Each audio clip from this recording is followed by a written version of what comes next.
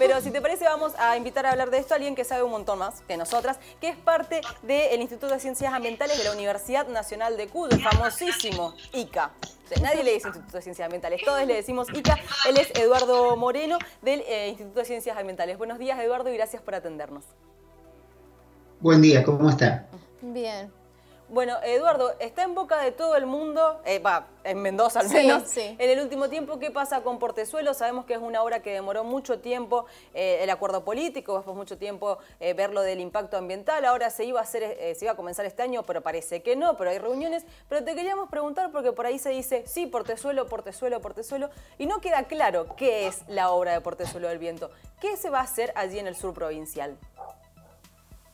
Bueno, es una obra contemplada desde hace bastante tiempo que consiste en una presa, una presa hidroeléctrica con eh, una central de generación y que a su vez tiene algunas obras complementarias necesarias para, el desarrollo, que son la relocalización de un pueblo, la construcción de dos rutas que se ven afectadas justamente por, por la presa y la línea de alta tensión para llevar la energía que se genere a, a ser conectada al sistema nacional.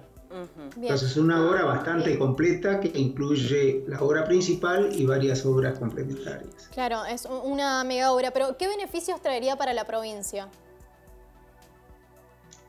¿Qué beneficios para la provincia y qué beneficios para toda la cuenca del Colorado, es decir, las otras cuatro provincias? Porque está sobre el río Grande, que es el principal afluente del río Colorado. Eh, entonces, eh, la obra en sí trae beneficios para la provincia y trae beneficios para todos los integrantes de la cuenca, que son las otras cuatro provincias.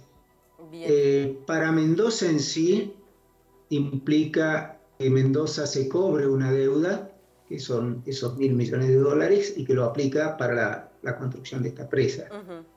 Esta presa generará energía hidroeléctrica dentro de 5 o 6 años y Mendoza es dueña de esa energía y la va a vender al sistema. Y además va a cobrar bueno, las regalías correspondientes. Eh, y Mendoza también se va a ver favorecida por un desarrollo local fundamentalmente orientado al turismo y al desarrollo económico, eh, de tener una presa instalada en ese lugar. Eh, que hoy por hoy ese lugar prácticamente está nada más que la población de las Loicas y es paso de, obligado a Chile por el sur, el paso Pehuenche. y, eh, Para las otras provincias, sí. Sí, eso te iba a preguntar, por las otras provincias, porque por ejemplo La Pampa, eh, muy desconforme, dice que le afecta al 100% y esta cantidad de energía eléctrica que se podría producir serviría para todo el país. Sí, sí, por supuesto. La energía se transmite al sistema interconectado nacional y lo utiliza todo el país. Y es saludable que tengamos una matriz energética de generación eléctrica con, con hidroelectricidad y no con térmica. Eh, es lo que ha pasado en los últimos años. Sin ir más lejos, hoy anuncian la puesta en marcha de una central térmica en Marcos Paz, en Buenos Aires. Eh, y bueno, eso, digamos, abastece al, fundamentalmente al, conurbano, pero es energía cara, cara y contaminante, es el camino que no deberíamos seguir. Bueno, pero eh, es lo que está pasando. Entonces, para las otras provincias sí se genera un, un, efecto muy importante porque dentro de las prioridades de las centrales de las obras sobre el río Colorado es la provisión de agua potable, es la provisión de agua para riego y es la contención de crecidas. Y en ese aspecto, las otras cuatro provincias son las favorecidas. Son, con la regulación del río tendríamos disponibilidad de agua para las poblaciones, para el riego y a su vez eh, evitamos el tema de las crecidas que son un riesgo siempre latente sobre toda la cuenca.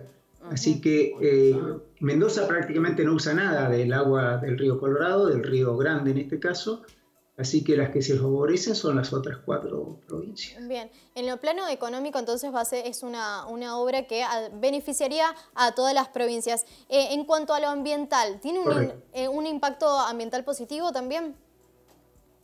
Sí, sí, sí, totalmente positivo. desde el punto de vista socioeconómico positivo en el sentido de regular un río que permitiría hacer mejor uso del agua en toda la cuenca. Es el caso que tenemos sobre el río Mendoza. En esta época nosotros, si no hubiéramos tenido el dique Potrerillos, estaríamos perdiendo el agua del invierno.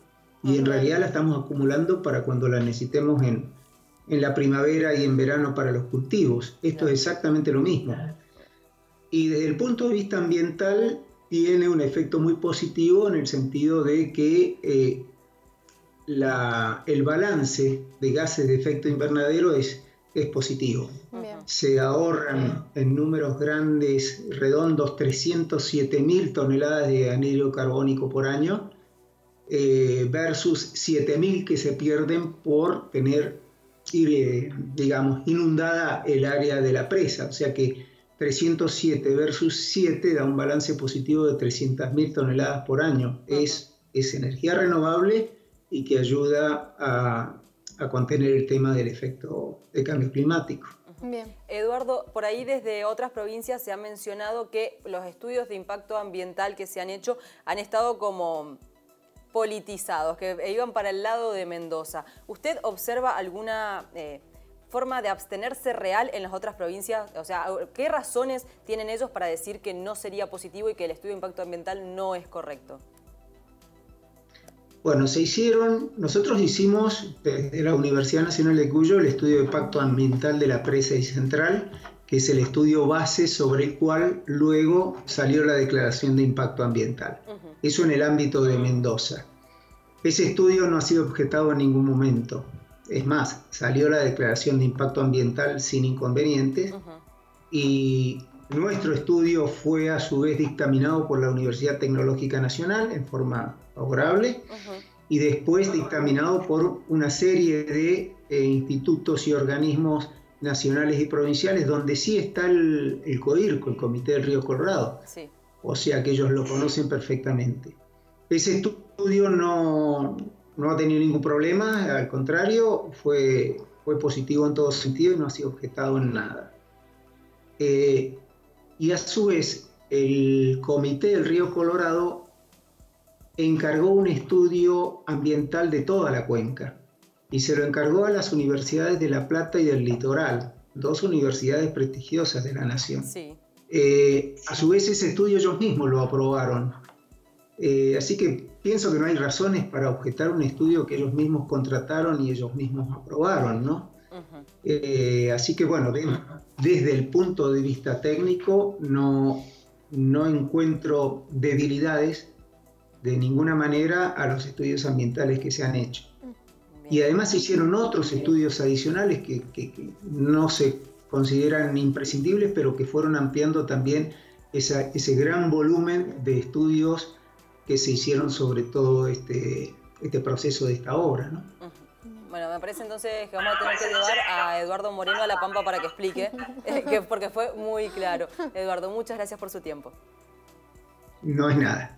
Buen día. Que tenga buen día. Bueno, ahí pasaba Eduardo Moreno del Instituto de Ciencias Ambientales de la Universidad Nacional de Cuyo, explicando un poquito más esto, porque todos estamos hablando, sí, que Portezuelo sí, que es bueno para Mendoza, que ya nos pagaron como cuatro cuotas, y ahí quedó claro, es una represa que va a generar energía hidroeléctrica, y recordemos que en nuestro país se utiliza este como no es un sistema único, pero todas las provincias cuando producen energía más de la que van a utilizar, la pueden subir a un sistema para que vaya a las demás provincias. O sea, como que se compensan entre sí.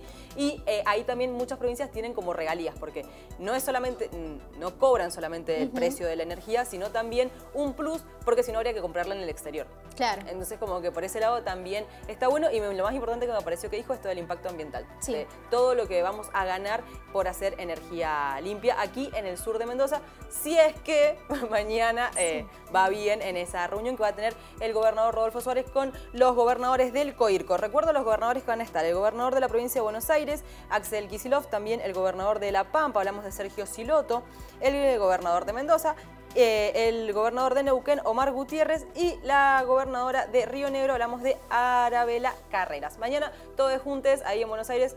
Ojalá que acepten lo que presentó Suárez el lunes y que por fin podamos tener energía limpia acá en la República Independiente y Separatista de Mendoza. Veremos qué pasa, pero eh, cualquier cosa lo vamos a estar tratando aquí en ECA a las 10. Nos vamos a un corte y ya venimos.